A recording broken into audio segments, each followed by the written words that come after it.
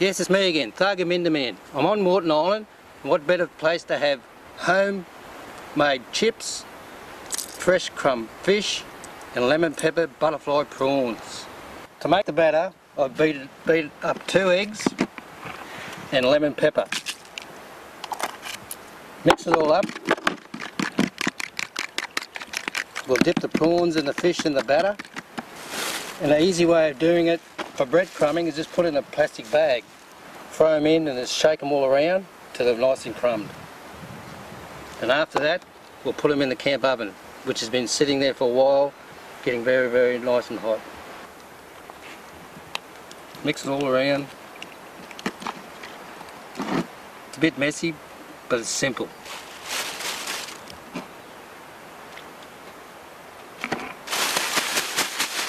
Shake them all over. We're going to put the chips in first. Let's put a tester in to see how hot it is. Oh, look at that, beautiful.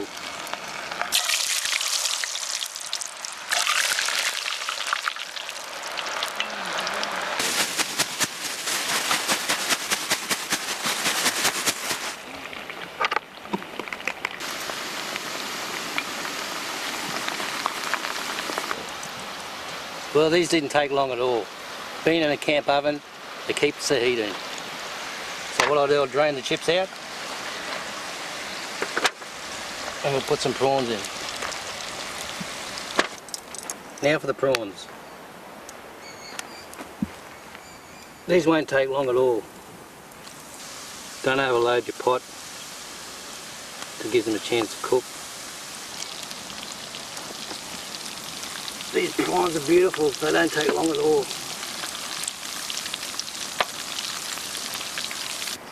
Now for the fish. Oh, yeah.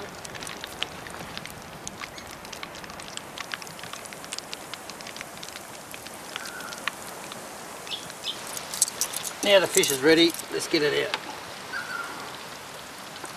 I'm going to finish this off with a really nice Greek salad with a very local feta cheese from Fresco.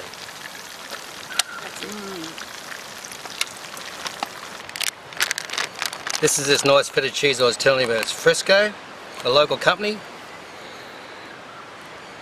More feta cheese the better I reckon.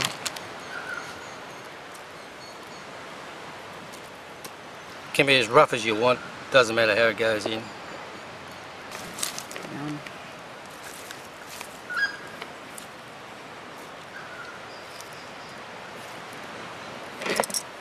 Now look at that. Bush camping at its best. Try it, Robin. Thank you. Yum. Oh. Mmm. And the peppers come through in the prawns too. Beautiful. Oh, that is so nice, Paul.